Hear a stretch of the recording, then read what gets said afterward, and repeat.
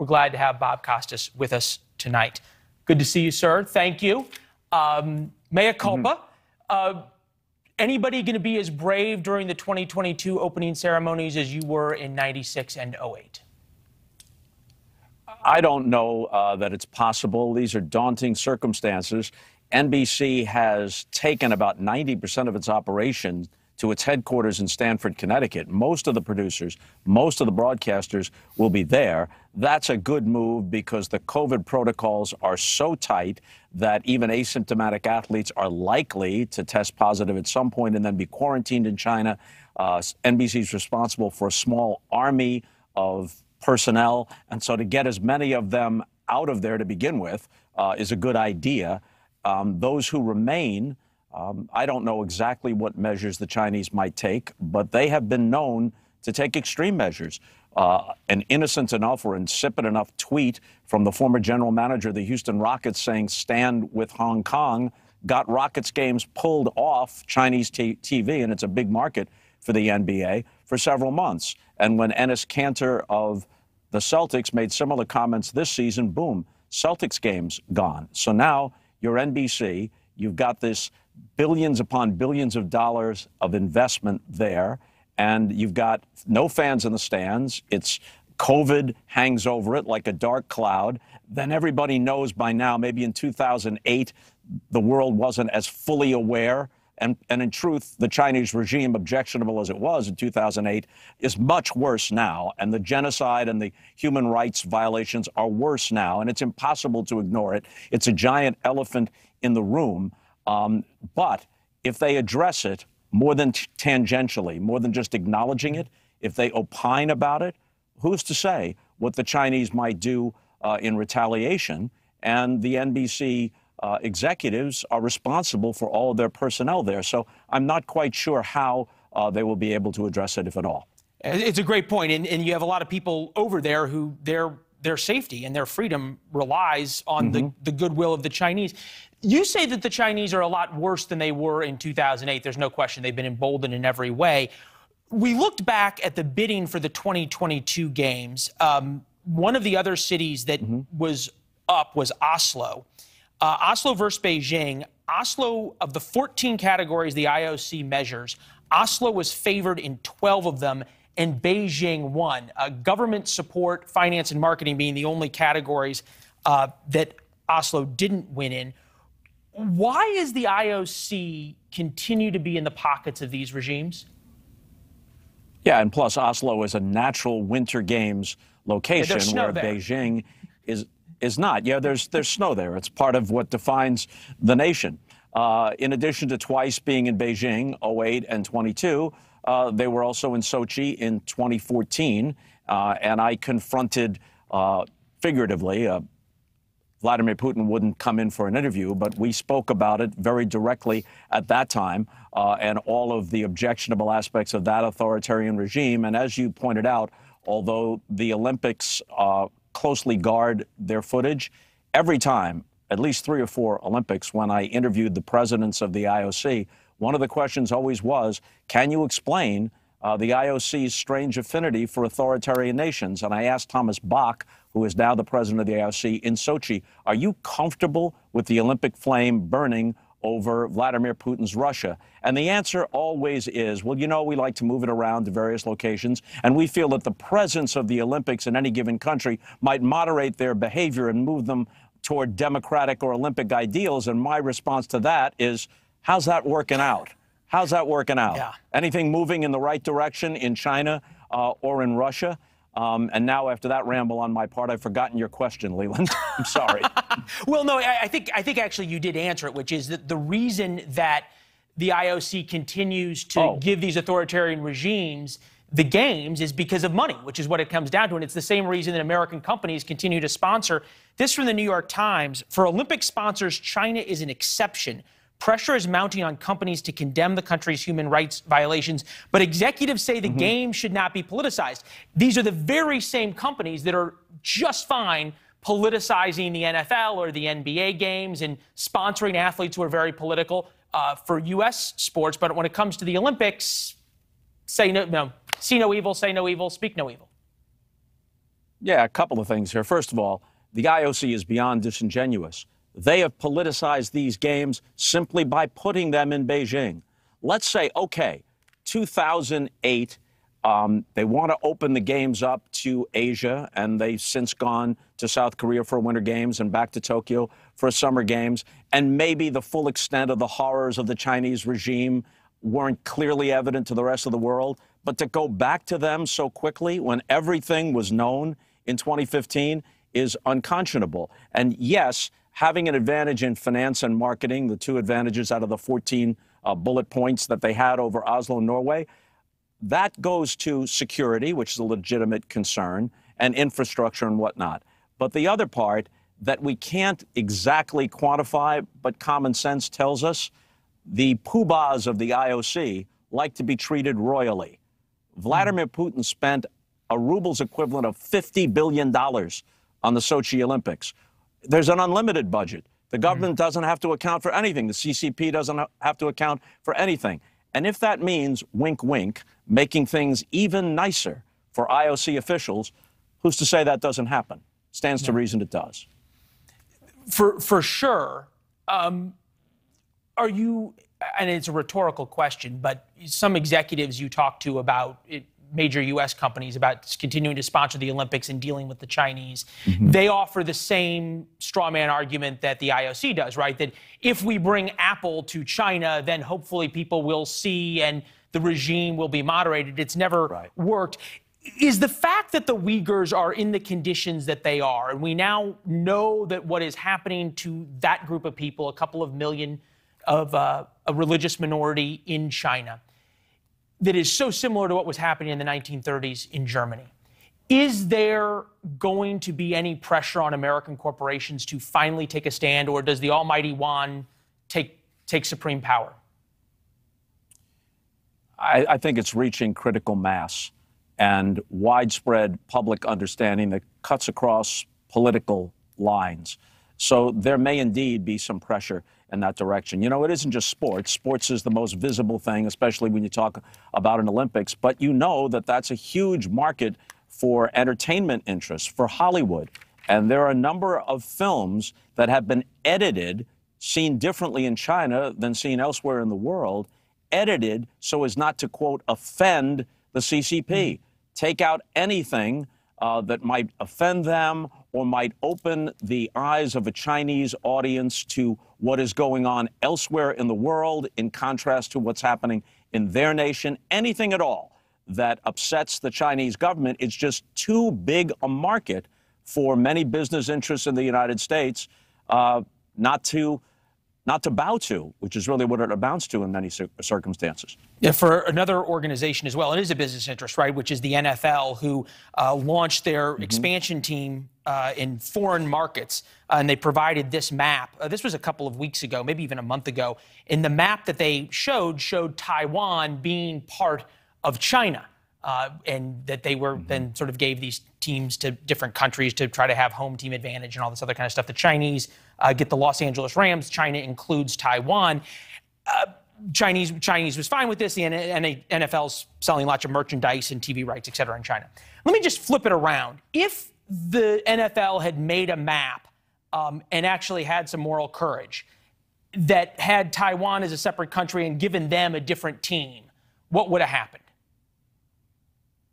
I think there would have been some sort of response just based on the precedent, uh, where they tried to get me fired, uh, or failing that, issue a public apology way back in 1996 and taking NBA games off the air. There would have been some sort of reaction, not just some tweet or we object. There would have been some sort of reaction that exacted some sort of commercial price, because hmm. that's the playbook in China.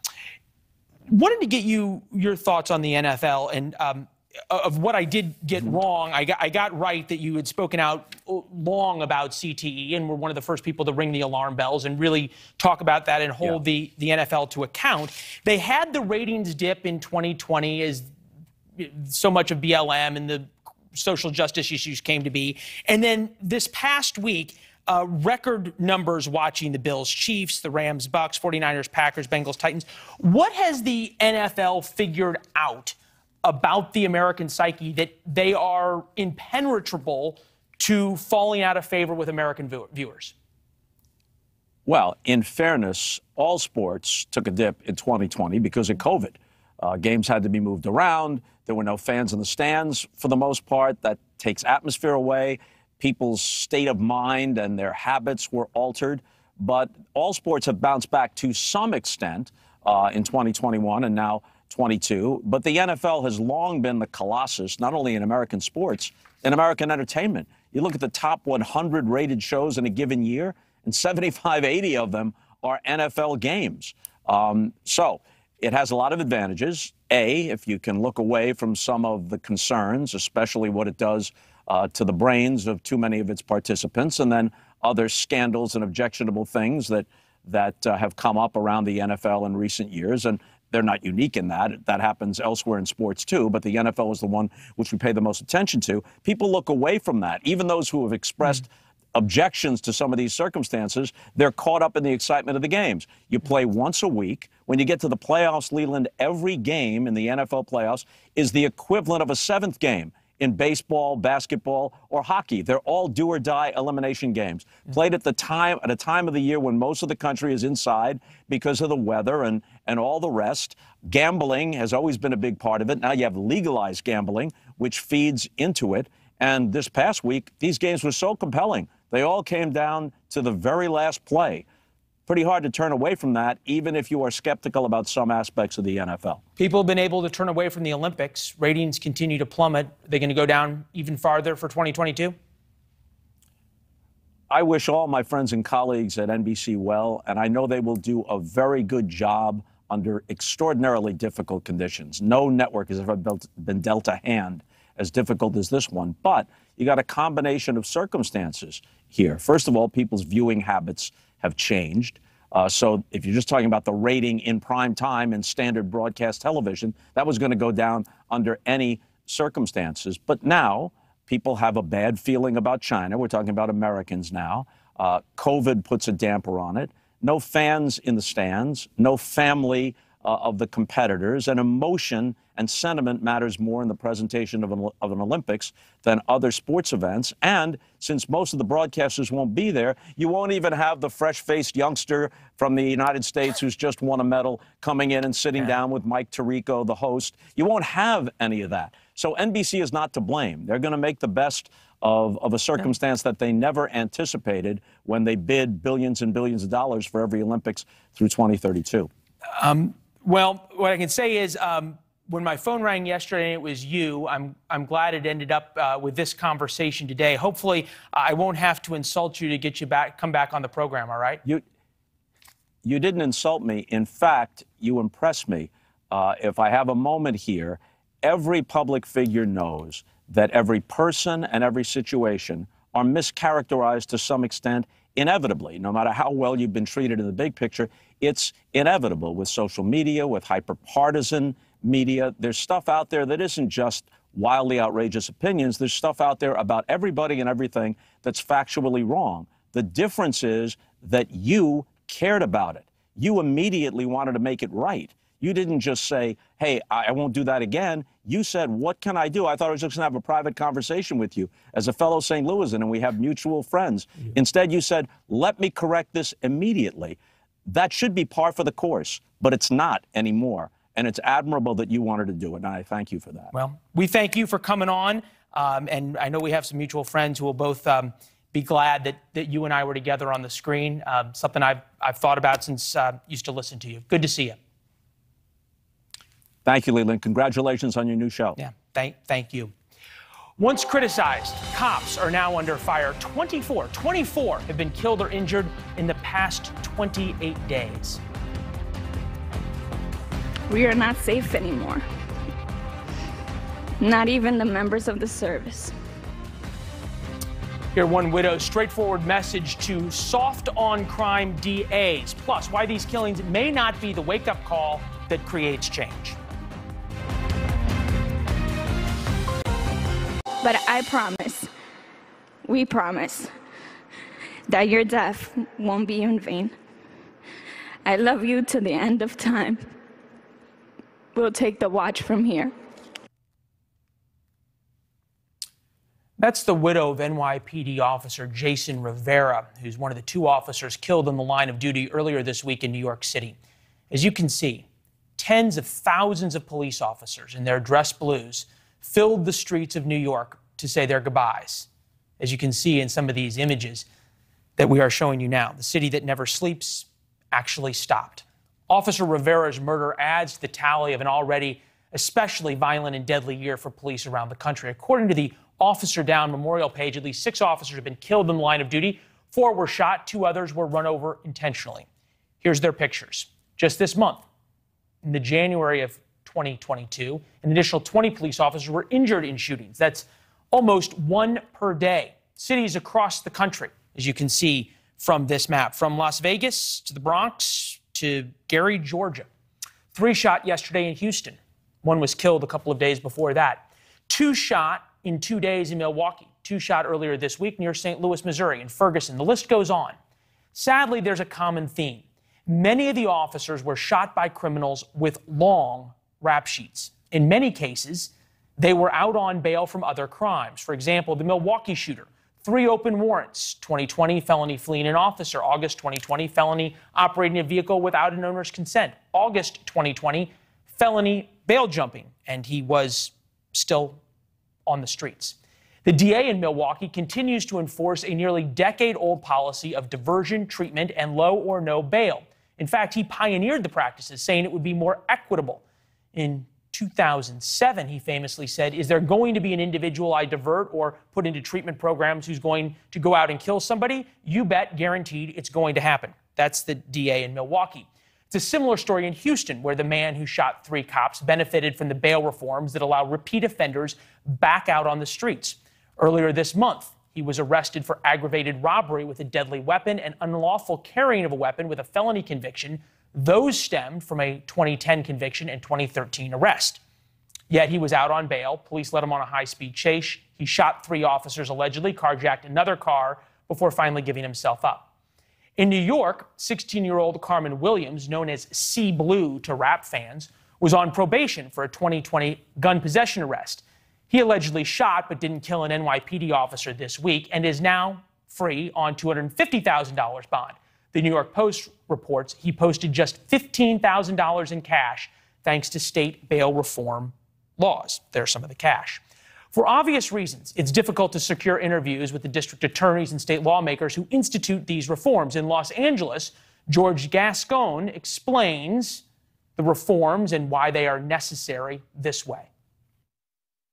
In many ways, we cannot prosecute our way out of social inequalities, income inequalities, the unhoused, the desperation that we have. The DA said last month that the tough on crime approach has failed and that, quote, we are trying dramatically to change a system that has not served no one, not the victims of crime, not those that are accused, and not the public. He isn't the only big city DA with such a view. We focused earlier on the violence against police in New York. Five have been shot since the first of the year. That's the same time the new district attorney, Alvin Bragg, has been in office. This is the policy he put out in the beginning of his time. We will not seek a carceral, meaning prison sentence, except with homicides and a handful of other cases, including domestic violence, felonies, some sex crimes, and public corruption. That was the memo he put out to prosecutors. He later walked back this memo. The purpose of the memo is to provide prosecutors with a framework for how to approach cases in the best interest of safety and justice. Each case is fact specific. Bragg attended today's funeral of the two police officers in New York. Back now to Jason Rivera's widow, who addressed Alvin Bragg directly. The system continues to fail us. We are not safe anymore. Not even the members of the service. I know you were tired of these laws, especially the ones from the new DA.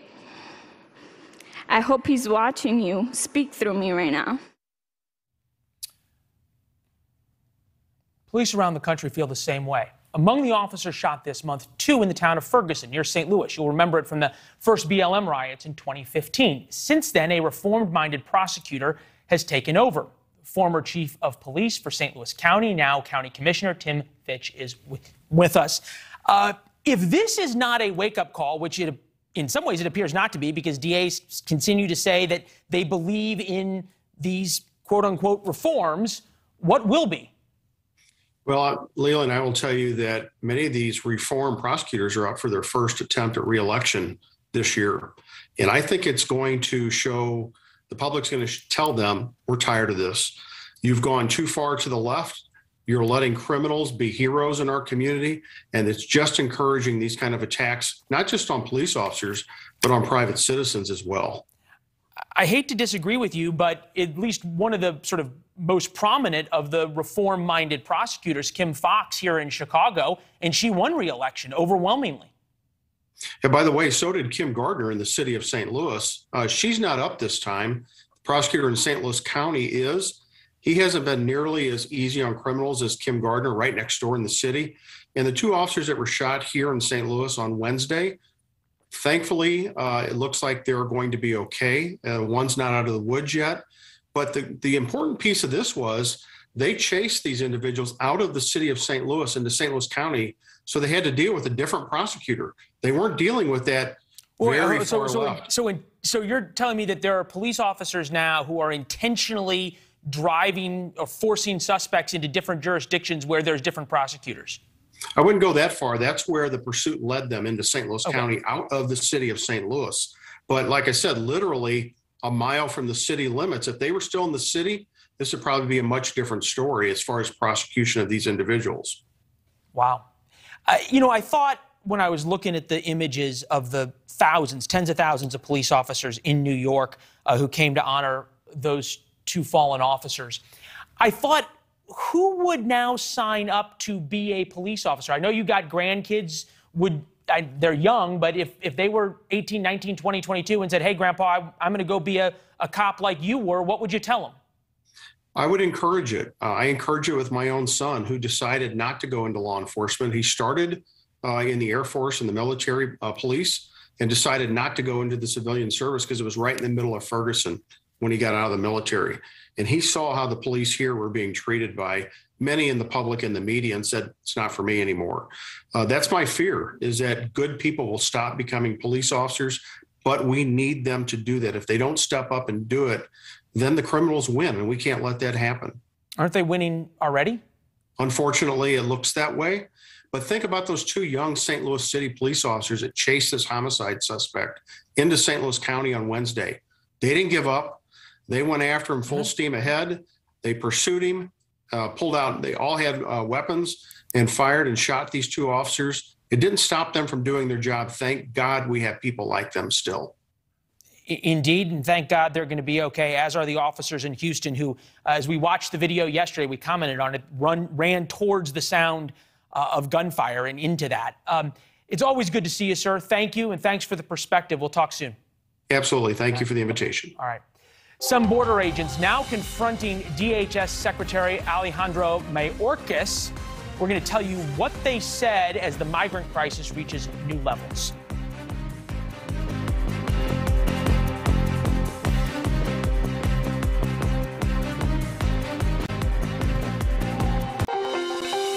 Welcome back. We've been covering the border all week, and now there is leaked audio from a meeting between Border Patrol agents in Arizona and the Department of Homeland Security Secretary Alejandro Mayorkas, showing just how angry the agents are. On Wednesday, the secretary was addressing the agents' complaints about the Biden administration's immigration policies. Cameras were not allowed in these meetings. The agents felt they weren't getting the proper resources to deal with the record influx of migrants crossing illegally. This is audio obtained by Townhall of the agents confronting the secretary. Every time something important comes here, uh, we rush out. We have 50 more buses that come in, and they take as many people out here as they can. You guys keep saying you want to see how it really is down here. Why do we keep sending as many people out here, out of here as we can before they get here? It's not really showing what it is. I'm not, I'm not exactly sure I follow, sorry. So It may appear that people are trying to showcase that everything's hunky-dory. We know better. I know better. The commitment remains and we'll keep fighting. And let me, let me just say, you can turn your back on me, but I'll never turn your back, on my back on you. You did the day you were appointed. searing. This is one of the reasons they're so angry. We've been showing you this video all week of migrants, single adult males being released into San Antonio airport and at bus stops, free to go anywhere in the U.S. they want. Some of these migrants allegedly have criminal records. They're supposed to check in with immigration authorities at some point, but often they don't. Thursday, attorneys generals from 12 states met along the border in Texas to discuss what they can do collectively to combat illegal immigration. Although, given it's a federal issue, they're perhaps is precious little. Joining us now, Indiana Attorney General Todd Rokita, who was at the border and is in Texas right now. I, I appreciate really that you all go down and see this and try to do something about it. I know every state now has become a border state, but effectively, other than sound bites and sending letters, is there anything a, a state attorney general can do about this? Well, yeah, Leland, thanks for having us on. We're just north of the border now, heading back to Indiana. And um, as I was down in Texas gathering evidence, uh, we filed a lawsuit. So this is not a congressional seat where you, where you might be more accurate. Send a letter, vote yes or no.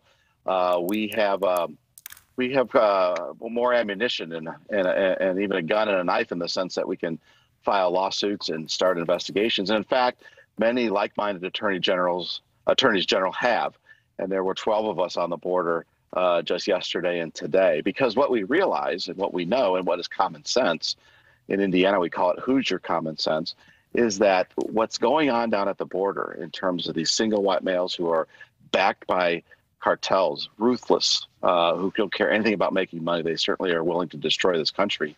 Uh, they're sending these migrants, these these these these, these single males, um, these illegal aliens, uh, as hostages or to commit crimes just on their own. And so, in 48 hours, Leland, from the time you cross the border illegally down here, you can be in Indiana. You are in Indiana, uh, raising cri- raising our. No, our I, look, I, I, there's no question we've and we've covered a lot of that and, and talked about it. At the same time, how do you separate the fact that a lot of these a lot of these people are normal people? I was down on the border as well, who are coming to America for a better life. They're coming illegally, but be that as it may, they're not. They're at the same time not criminals uh, in the in the sense of the word of what you're saying. How do you separate those two groups? I don't think you should have to necessarily. Uh, illegal is illegal. We're going to be Leland. We're going to either be a country of laws or we're not. And and if you're going to break, the first thing you do to get to our country is break a law. Uh, I don't think you want to live our values. I don't think you want to be uh, become American, maybe not even assimilate. And and and yeah, I understand. There's people that are being held hostage by these cartels, and, and we have sympathy for them. Uh, but that doesn't stop what the law is. That doesn't mean you throw the law away. And now you have Biden, uh, who's being a lawbreaker himself, who's not enforcing the Remain in Mexico policy that I and about 14 other attorneys general got the United States Supreme Court to reinstate. That's the Trump policy that said, yes, we feel sympathy for you. And while we examine your asylum case, you're going to stay in Mexico, which de incentivizes the whole reason to come in the first No. place, especially if you're an employee of a cartel, if you're a hostage of a cartel. You know, I, I couldn't So- agree. I couldn't agree with you more that the difference between what was happening during the Trump administration and now during the Biden administration is absolutely night and day. Remain in Mexico uh, certainly changed that. When we were down at the border, um, it was very obvious, and as you point out. Sending people back just isn't happening. And I guess that's maybe the point that you're suing TikTok, you're suing the administration, and even once the courts rule in your favor, it doesn't seem to be making a difference. Well, yeah, that and that could be a whole separate question. Elections do have consequences, but we are at a tipping point here as a country. And when the leader of our country uh, decides to be a lawbreaker himself, not follow the rule of law, not follow the Constitution, we're in a whole other environment, Leland, and it's it is it is scary.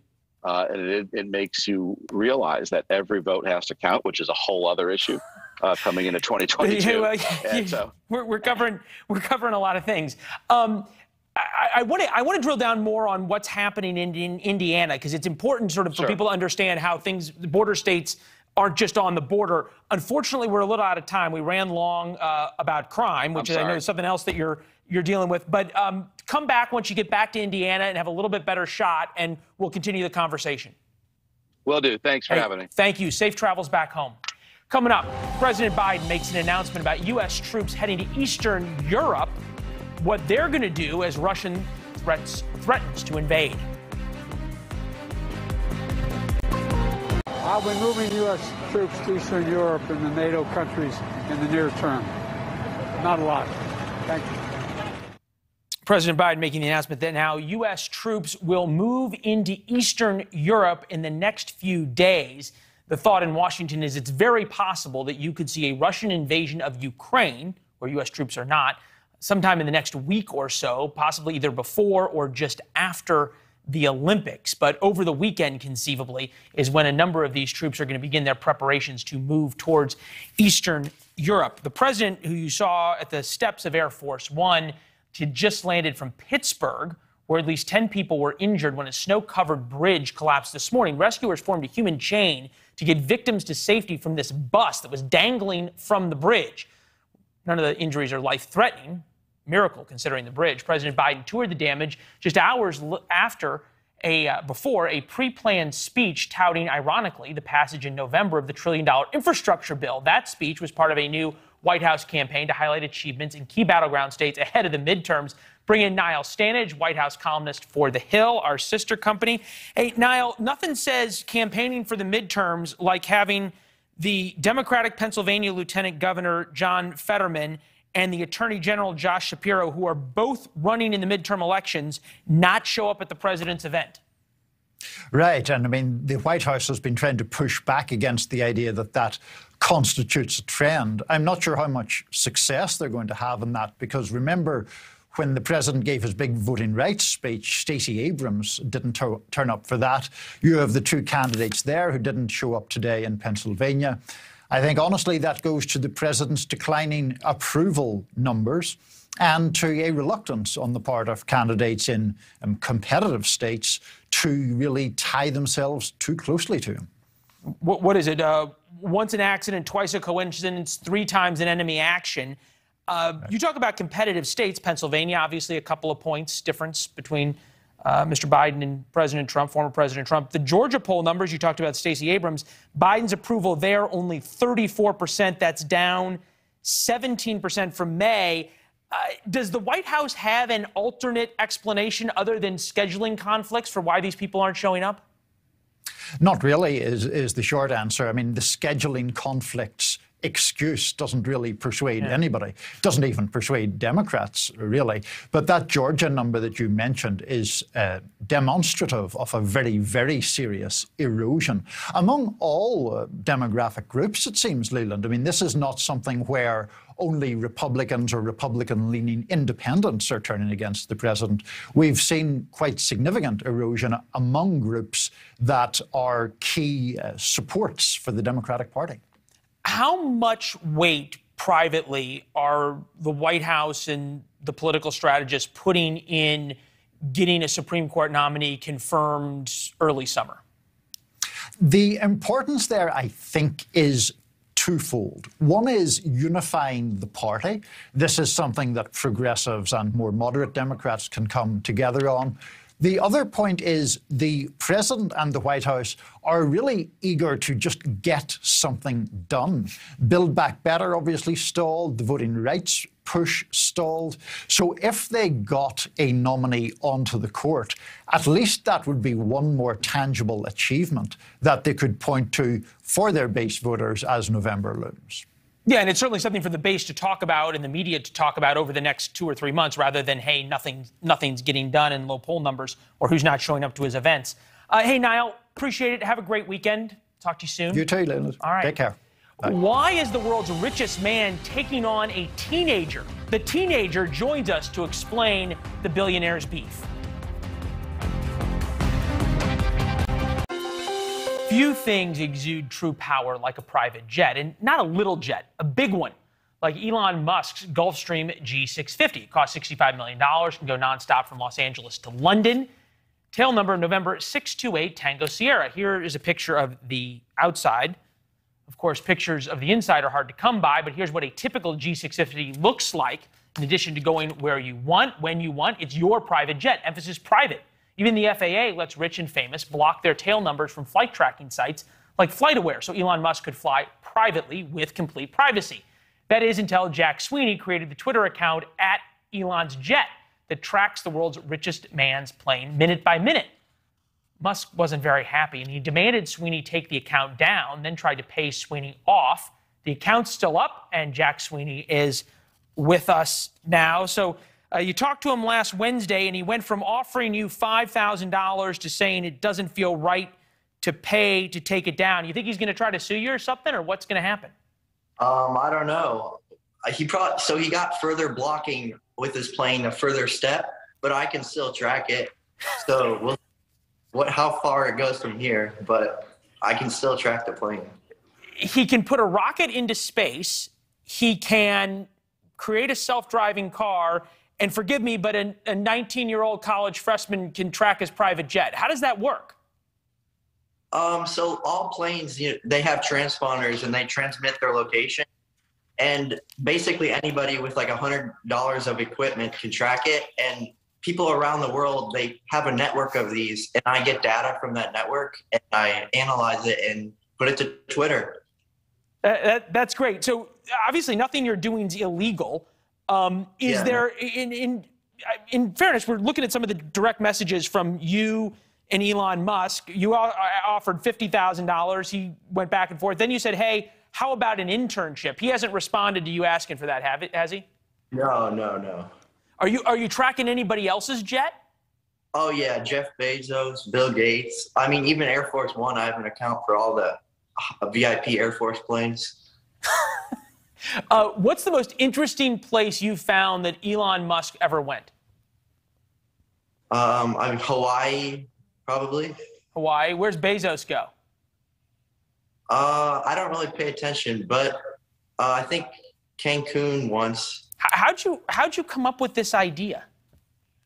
Uh, so like I'm a fan of Elon Musk and SpaceX and Tesla, and you know I always follow the shenanigans he does on Twitter. And I knew he had a plane. I had some aviation experience. and I knew about flight tracking apps, and I just thought had the idea for a while, and I finally brought it together during COVID when I had free time. Uh, originally, he told you that it was somehow uh, a security risk to have his plane tracked. You don't buy that, though. Uh, I mean, to a certain extent, but it doesn't seem to be that big of an issue. Huh?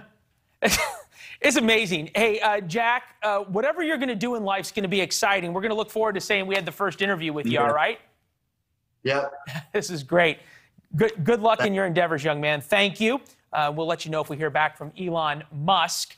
Hope you have a great weekend. Next week, we're going to tackle more Tiger moms going after school boards on mask mandates in their kids' education. Also, take you to Flint, where they still don't have in person learning.